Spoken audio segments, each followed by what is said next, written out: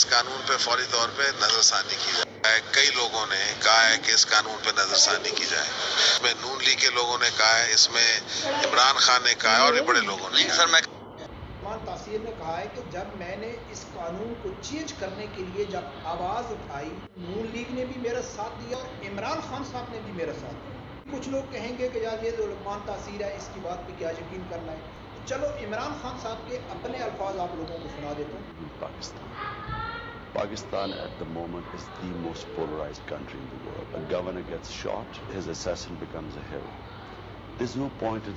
تو ناظر انڈیا کے چینل میں بیٹھ کے عمران خان صاحب کہتا ہے کہ میں ایک ایسے ملک میں رہتا ہوں کہ جہاں ایک گورنر کو قتل کیا جاتا ہے اور اس کے قاتل کو ہیرو بنا کر پیش کیا جاتا ہے ممتاز حسین قادری ایک دہشت گرد تھا ایک قاتل تھا اور اس کو ہیرو بنا کر پیش کیا نون لیگ کے دور میں جب ختم نبوت کو چینج کرنے کی کوشش کی گئی کہ پاکستان میں جب اتنا بڑا قدم اٹھایا جائے گا، وہ چاہے نون لیگ کا دور ہو پیپل پارٹی کا دور ہو، یا عمران خان کا دور ہو۔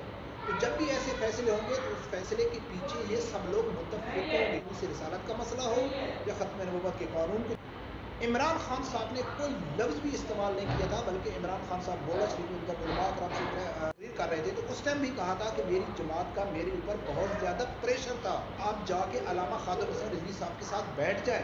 لیکن میں نہیں بیٹھا ہوں۔ وہ کیوں نہیں بیٹھا؟ میں آپ لوگوں کو بتاتا ہوں۔ یہ سنو یہ تھی کہ اس میں سب شامل تھے، اس تبدیلی میں۔ وہ تبدیلی ریورس بھی کر دی گئی۔ جو تبدیلی ہوئی ہے، اس میں ہم بھی شامل تھے۔ ہم نے بھی ووٹ کیا اور حقیقت یہ تھی کہ سینٹ کے اندر پیپلز پارٹی نے اور پی ٹی آئی نے کی ووٹ سے وہ قانون بنا تھا، جو بھی اس میں خرابیاں تھیں، وہ پیپلز پارٹی اور پی ٹی آئی کی ووٹ سے بنی تھی۔